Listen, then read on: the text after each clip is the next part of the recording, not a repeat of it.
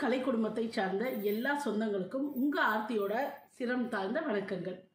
கடினமான இந்த கொரோனா காலத்தை நம்ம எல்லாரும் கடந்து வந்துக்கிட்டே இருக்கோம். கூடிய சீக்கிரம் இந்த நிலை மாறும்னு நம்புகிறேன் சினிமான்றது வெறும் பொழுதுபோக்கு பொதுமக்களுக்கு. ஆனால் இந்த சினிமாவையே நம்பி இருக்கிற பல்லாயிரம் குடும்பங்களுக்கு சினிமா தான் வாழ்வாதாரமே. இந்த சினிமா நல்லா இருக்கணுங்கிறதுக்காக தான் நடிகர் திரு. விஜய் ஆண்டனி அவர்கள்லேருந்து நடிகர் ஹரிஷ் கல்யாண் அவர்கள்லேருந்து திரு உதயா ப்ரோலேருந்து இயக்குனர் ஹரி சார்லேருந்து எல்லாருமே அவங்களோட சம்பளத்தை இருபத்தஞ்சு பர்சன்டேஜ்லேருந்து நாற்பது பர்சன்டேஜ் வரைக்கும் கம்மி பண்ணியிருக்காங்கன்னா ரொம்ப நல்ல விஷயம். தேங்க்யூ தேங்க்யூ ஸோ மச் பெரிய பிள்ளையாருக்கு முன்னாடி ஒரு சின்ன எலி இருக்கும் இல்லையா? அப்படிதான் நானும். புரியுது? நான் எலியில் ஒத்துக்கிறேன். பெருச்சாலி தான்.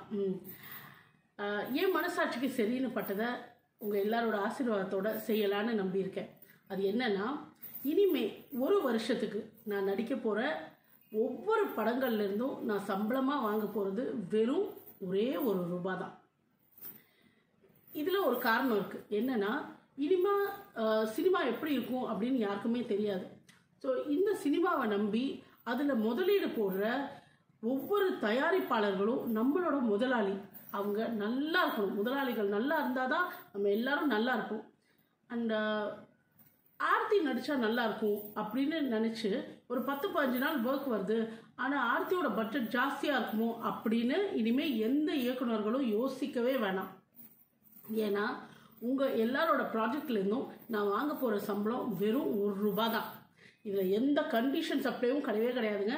நான் ஒரே ஒரு சின்ன ரிக்வெஸ்ட் இருக்குது அது என்னன்னா நான் நடிக்கிற படங்களில் ஒரு சீனை வந்து இயக்குனர் பிளான் பண்ணலாம். அது என்னன்னா அந்த சீனில் ஒரு பத்து துணை நடிகர்கள் இல்லைன்னா ஒரு பத்து நாடக கலைஞர்கள் தேவைப்படும் அப்படின்ற பட்சத்தில் என்னோட ரிக்வஸ்ட் என்னன்னா எக்ஸ்ட்ரா ஒரு பத்து பேருக்கு பத்து கலைஞர்களுக்கு நீங்கள் அந்த வேலையை கொடுக்கணும்.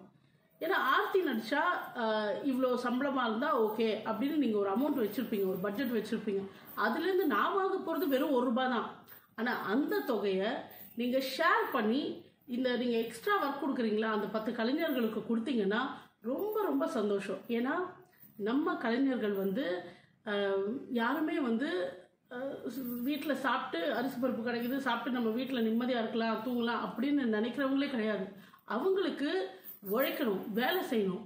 வேலை செஞ்சு அவங்க டெய்லி கிடைக்கிறது அந்த சின்ன தொகையாக இருந்தாலும் அந்த தொகையில் அவங்க வயிறாட்டிப்பாங்க அவங்க வீட்டில் குழந்தைங்களை படிக்க வைப்பாங்க தன்மானத்தோட வாழ்வாங்க. அது மட்டும் இல்லை நீங்கள் பிளான் பண்ணுற சீனும் பிரம்மாண்டமாகவும் இந்த மொத்த புண்ணியமும் நம்ம முதலாளிகளே சாரும் ஸோ இதுக்கு தான் இந்த திட்டமே.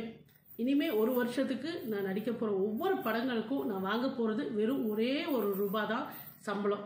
ஸோ இது உங்கள் அன்பும் ஆசீர்வாதமும் ஆதரவும் கண்டிப்பாக எனக்கு கிடைக்கும்னு நம்புகிறேன் ஒன்றுமே இல்லைங்க. எல்லாரும் எல்லாமும் பெற வேண்டும். இங்கு இல்லாமல் இல்லை என்ற நிலை வேணும். அதுதான்.